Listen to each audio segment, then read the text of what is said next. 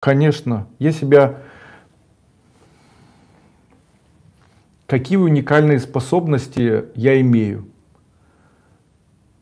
Я имею уникальную способность быстро находить выход, если есть сложная ситуация. И он всегда правильный. Второе.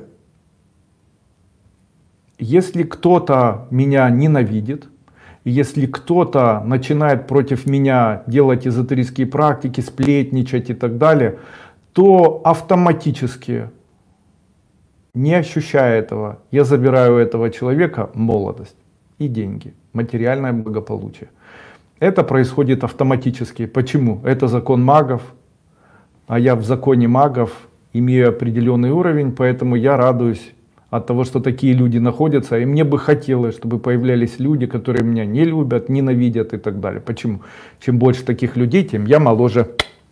А быть вечно молодым приятно. А, паранормальная способность очень тепло жить в семье.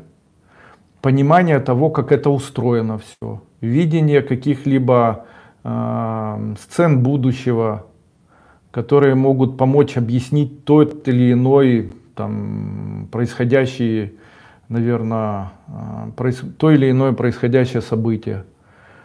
Ну, может ли каждый человек? Если бы я не хотел, чтобы люди были похожими на меня, то я бы не открывал свою эзотерическую школу Кайлас. На сегодняшний день я могу сказать, что жизнь моя прекрасна, потому что она наполнена любовью детей, любовью жены, любовью сыновей, она наполнена материальным благополучием, она наполнена здоровьем, заботой, теплыми отношениями, счастьем внутренним и внешним. Мне не приходится все время бороться за выживание.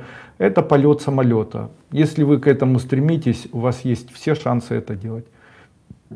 Работаю ли я? Конечно, одна из моих особенностей, я всегда использую три принципа. Если я не отдыхаю, то я работаю. Если я не работаю, то я обучаюсь. Именно поэтому в случае, если я не обучаюсь и не работаю, то я отдыхаю. Если во время отдыха я хочу что-либо делать, то я начинаю обучаться. Когда я говорю отдыхаю, я говорю о том, что я ложусь, выключаю глаза и сплю. Что я говорю, когда работаю? Я когда работаю, то работаю, там делаю что-то руками, мозгами, пишу или там кому-либо звоню или там тру или еще что-то делаю. Когда я говорю обучаюсь, то я обучаюсь, я открываю тексты, открываю книжки, нахожу информацию, какая она может быть. Ну, я успешный блогер, и этому я обучился через интернет. Я достаточно хорошо умею продвигать канал, там, YouTube, делаю это с успехом, ну и вы это все сами видите. Если возникают какие-либо вопросы, там, управления или вопросы еще какие-либо, я этому обучаюсь, ищу информацию в интернете и это изучаю. Обычно человек говорит, у меня не получается обучаться. Я точно знаю, что у каждого получается обучаться, но здесь очень важно не спешить.